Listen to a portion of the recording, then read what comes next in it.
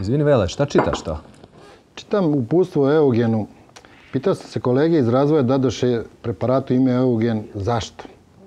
A onda saznam da Eugen znači moderan, aktivan, kompetentan.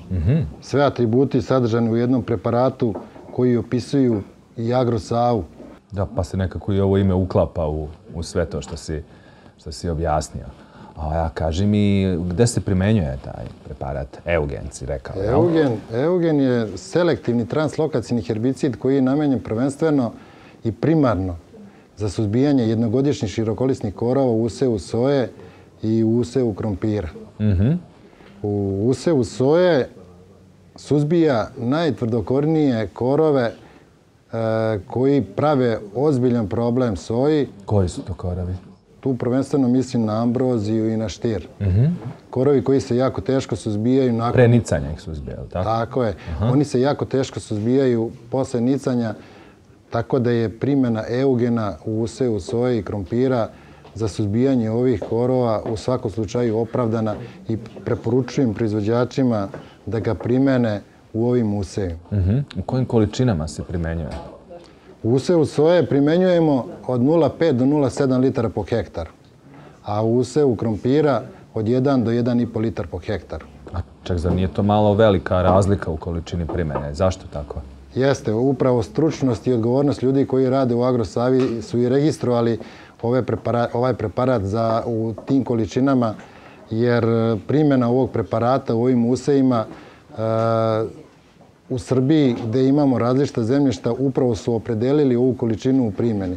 U zemljištima koje imaju ispod 3% humusa preporučuje se donja količina, a u zemljištima gde imamo veću količinu humusa preporučuje se gornja količina preparata.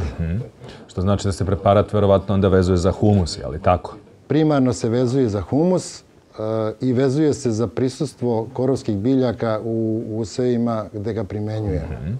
Inače, ovaj preparat ima dosta široko dejstvo, suzbija tako reći sve jednogodišnje širo, ovaj, širokolisne korove koji se mogu javiti u ovim usevima i kao takav opravdava sve uloženo u njegovu primjenu. A ček ovde, e, ja znam iz proizvodne prakse da su obično u, praškastoj formulaciji takvi, ta aktivna materija, a ovaj je, koliko vidim ovde na slici, u boci, jel? Je on tečan? Jeste, e, Eugen je jedan od dva preparata koji su trenutno prisutni na tržištu i to je između ostalog i formulacija e, koju Agrosava nudi svojim proizvođačima je prednost u odnosu na slične preparate. Koja je formulacija? Formulacija ovog preparata je SC, tako da može da zadovolji i ozbiljne proizvođače. Lakša je primjena ovog preparata jer, jer je u pitanju tečnost. Da. Pa i te koncentrovane suspenzije generalno bolje naležu na zemljište i bolje se vezuju nego ove praškaste. I lakša je primjena. I lakša je primjena, tako je. Tako je.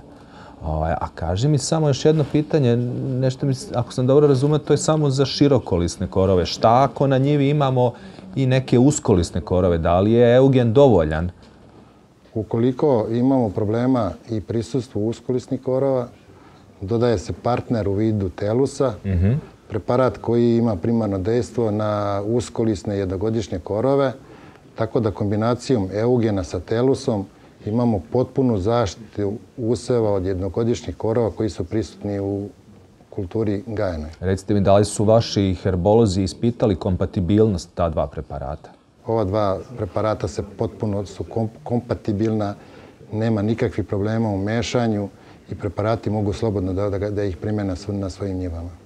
Znači, ako sam ja dobro razumeo, samostalno eugen ide ako imamo dominantni problem sa širokolisnim korovima, a ako imamo i uskolisne, kombinujemo ga sa preparatom Telus.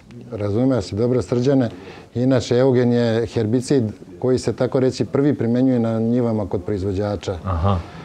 U usevu lucerke u fazi mirovanja pre početka kretanja vegetacije primenimo eugen u količini od 1 do 1,5 litar po hektaru, suzbijamo sve problematične korove. Delo je na, na, na hoću, neću.